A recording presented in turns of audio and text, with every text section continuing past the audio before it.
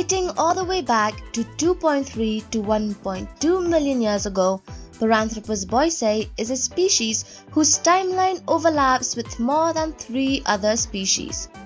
Fossils related to the species have been found in so many sites and showed that their skulls had the most pronounced masticatory adaptations.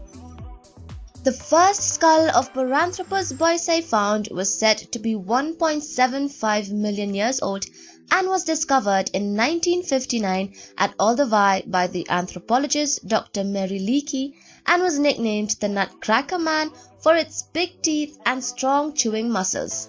First fossils were discovered in 1955 which included two upper milk teeth, a very large molar and a tiny canine at Olduvai Gorge in Tanzania.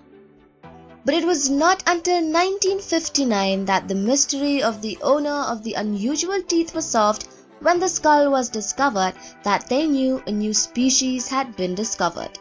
These fossils were assigned to a new genus and species named Zinjanthropus boisei or human from East Africa.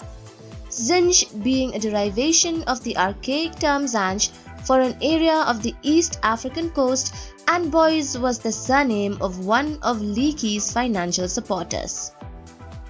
Fossils from more than a hundred individuals have since been discovered in the last 55 years. Over time, the genus has changed from Zinjanthropus to Australopithecus to Paranthropus, but some researchers are still using genus Australopithecus. Fossils related to the species have since been sites in Tanzania, Chesowanja, West Lake Turkana and Koobi Fora in the East Lake Turkana area, Kenya and the Shungura deposits and Konso, Ethiopia. Paranthropus boisei individuals were probably the ones that suffered the most because by the time they arrived, forests had started receding and grasslands expanding, making it a hard time for them to find food that suited their chewing capabilities. With a brain size of approximately 530 cubic centimeters, studies showed that their skulls had the most pronounced masticatory adaptations.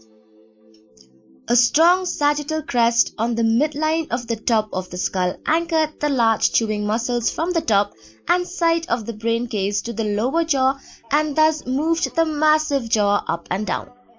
They also had larger molars and premolars, larger and heavier mandibles, and an orthognathic face.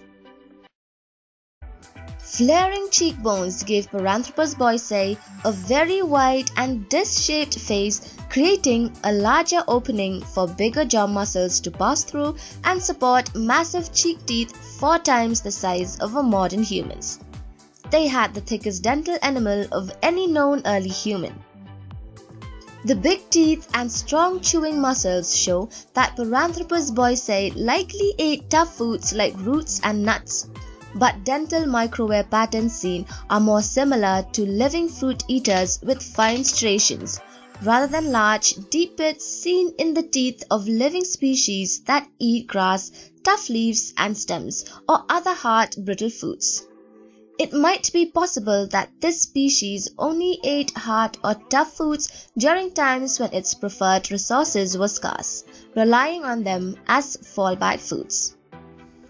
Talking about its place in the evolutionary tree, Paranthropus boisei is usually thought to descend from earlier Paranthropus species and lived alongside several other species of early humans during its 1.1 million years of existence.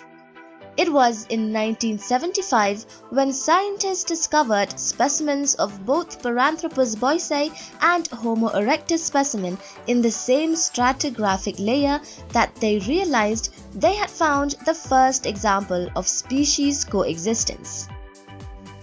The discovery of both the specimens in the same place was very important because it cleared up a long time controversy and confirmed that more than one species of early humans lived in the same geographical area and at the same time. This replaced the traditional view of a single human lineage by the notion of a human family tree with many branches and research adding branches of new species ever since. Paranthropus boisei belongs to just one of the many side branches of human evolution, which most scientists agree includes Paranthropus species and did not lead to Homo sapiens. A 1.34 million year old partial skeleton of the Plio-Pleistocene hominin Paranthropus boisei, including arm, hand, leg, and foot fragments found at the Olduvai Gorge site in Tanzania represents one of the most recent occurrences of the hominin before its extinction in East Africa. The Paranthropus boisei individuals possessed a robust frame. Scientists said, We know that it was very strong.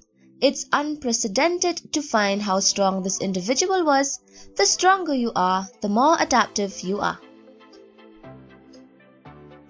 And with that, we have come to the end of the video. Thanks for watching and hope you enjoyed it. For more videos like these, do check our channel out and please do not forget to like our videos and subscribe to the channel. Till then, this is Halabella and see you soon in our next video.